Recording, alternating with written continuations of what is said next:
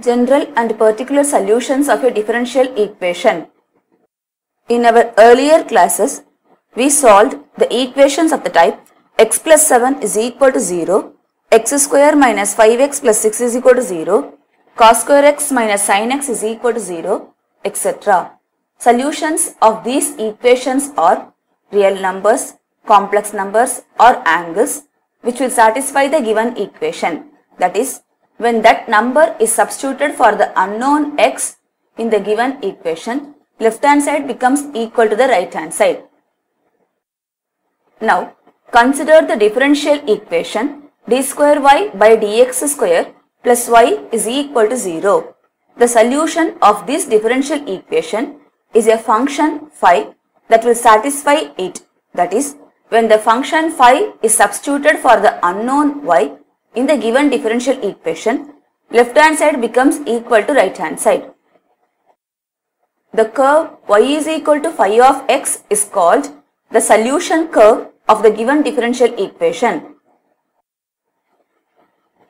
Consider the function given by y is equal to phi of x is equal to a sine of x plus b, where a, b belongs to real numbers.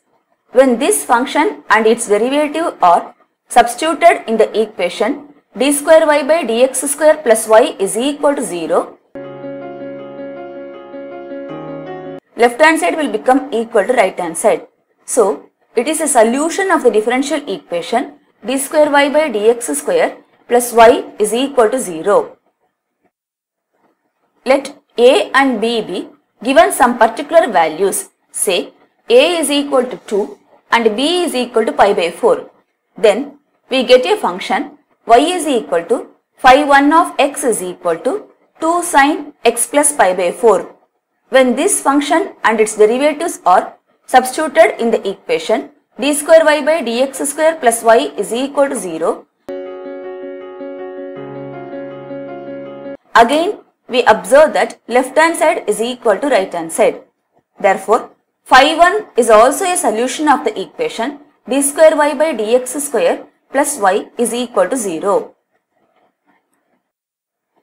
Therefore, the function phi consists of two arbitrary constants a, b and it is called general solution of the given differential equation whereas function phi 1 contains no arbitrary constants but only the particular values of parameters a and b and hence it is called a particular solution of the given differential equation.